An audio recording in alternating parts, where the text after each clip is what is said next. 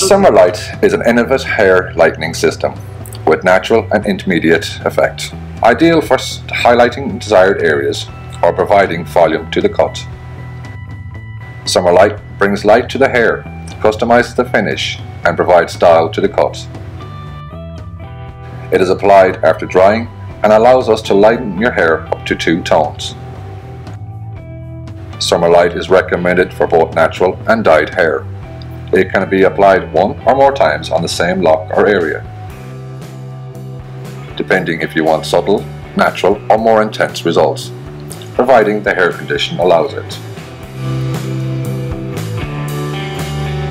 Once we finish the styling, we will design the summer light finish, choosing areas or strands to be treated.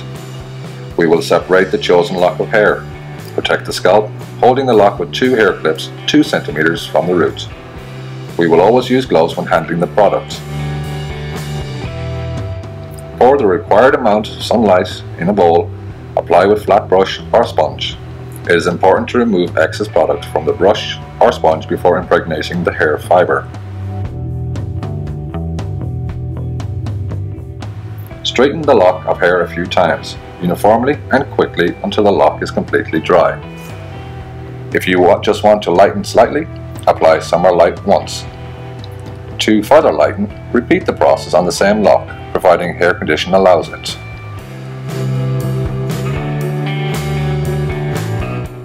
It can also be used on men's hair to provide natural light to cuts and styling.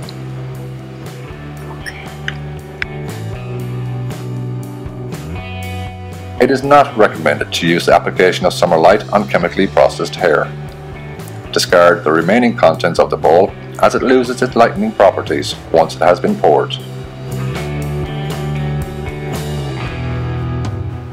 After the summer light process, the hair stays with a natural and light reflections. It will also look clean, soft and shiny. With summer light, we can choose where and how to create contrast because the application is done with finished hairstyle. Ideal to bring light or lighten volumes. Summerlight is formulated with a perfect balance of brighteners, ingredients and thermal protectors. It includes moisturizing and brightening active formulas for the hair fiber, making the hair shiny and smooth as a sunlight reflection.